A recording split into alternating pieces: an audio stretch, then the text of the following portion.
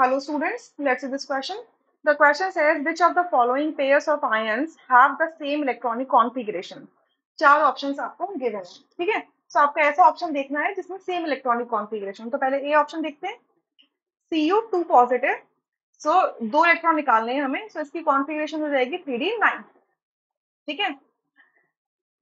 इसमें chromium two positive दे रखा है तो क्रोमियम टू पॉजिटिव में कॉन्फ़िगरेशन हो जाएगी थ्री डी फोर ठीक है? सो यहाँ पे सेम इलेक्ट्रॉनिक कॉन्फ़िगरेशन नहीं है। क्रोमियम की होती है three D five four S one होती है। सो so, दो इलेक्ट्रॉन निकालेंगे तो थ्री डी फोर रह जाएगी। सो ए ऑप्शन को रूल आउट कर दीजिए। बी ऑप्शन चेक करते हैं एफ़ ई थ्री पॉजिटिव तो आयरन की होती है three D six four S two तो तीन इलेक्ट्रॉन निकालेंगे तो थ्री डी फाइव रह जाएगी। एम एन की होती है three D five four S two so यहाँ से एम एन से दो इलेक्ट्रॉन निकालेंगे तो ये क्या थ्री डी फाइव कॉन्फिग्रेशन रह जाएगी। ठीक है?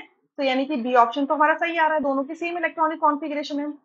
सी में देखते हैं कोबाल्ट की कॉन्फ़िगरेशन होती है three D seven four S two so cobalt three positive क्या हो जाएगा आपका? थ्री डी सिक्स ठीक है? सिमिलरली निकल की कॉन्फ़िगरेशन होती है three D eight four S two तो थ्री पॉजिटिव में क्या हो जाएगा? Three D seven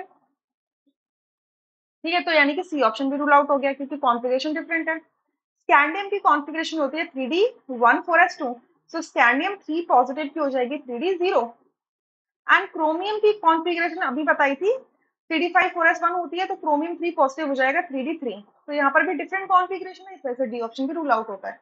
So only B option is the correct answer rest are incorrect I hope you understood thank you